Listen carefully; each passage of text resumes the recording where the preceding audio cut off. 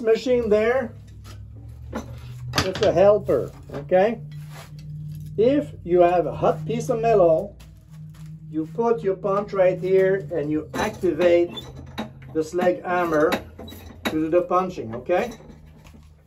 So let's see what happens if I put a brick, okay? Sirs, okay, a brick. Okay, let's try it. Little swing, pow! Ah! Okay, sure.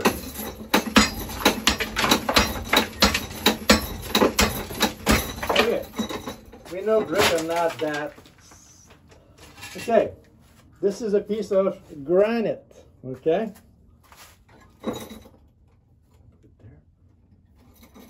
It might fly, I don't know. I get my mask on, okay? Little swing. Oh, oh wow, that was granite. Okay, uh, what else can I use? Uh, piece of brick again. Okay, there you go. Clay, turn to clay. Uh, so, this is the slag hammer.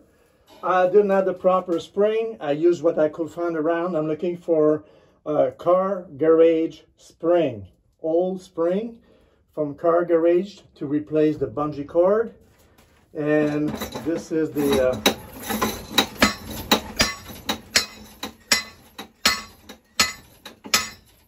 Okay, now to have a good impact, it has to be here. Now, because this tool takes some space already, I have to lower down that post, drive this post in the ground more, okay? And then I will have a good impact to mark the piece of wood or to punch a hole in this or, you know, punch a hole. Okay. Thank you. Oh, yes. What if, still filming? Yeah. What if my fingers are there by accident, okay?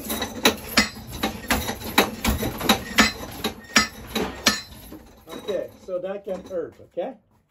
Okay, thank you. Here's the lever, one piece. Uh, it was not long enough, so I extended with a pipe and I put different holes to, see what would be best to use. So if I push down completely, to the hammer will hit when it's in that position. Those springs are there to kind of give a rebound and give some natural swing to it. Because if you're just a row from there to there, I would press it and make bonk, bonk, bonk. But here the rope, when it get under tension, the spring get longer, longer. And when the pull, the rope pull, then the spring come into action to give an acceleration, okay? That's the idea of the spring, acceleration. Okay, so this post is only like six inches in the ground. I have to dig the hole deeper, bring down, bring down our six inches. And this was my Taekwondo practice machine. In the old time, I was able to kick way up there. You see my feet now? I can still, yeah, I used to be able to kick way up there, there, okay? But nothing anymore. Okay, so the this is no hinges. I use in all hinges. I put a copper pipe inside the hole to make it uh, better fit. And this, it can be up or down. So if I see a bend there, I just turn the thing upside upright. And the rest is just I don't know where I was going with this. So that will be cleaned up in time. And this the record spring to bring the hammer down including this one here. Okay let's do it again um, without this. So this is only to be used on very hot iron. Otherwise it will not distort normal iron. It has to be hot and malleable. Okay, so this is how fast I can action, action this.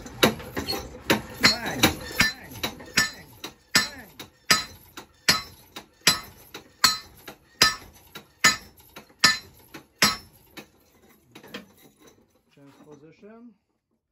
This way you see my feet maybe. So my feet only go about six inches, okay? From there to there, that's it.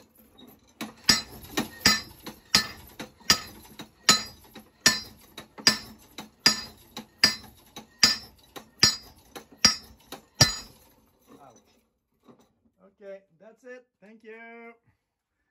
So, a bunch of bungee, a slide hammer. I think it's 12 pounds, not sure.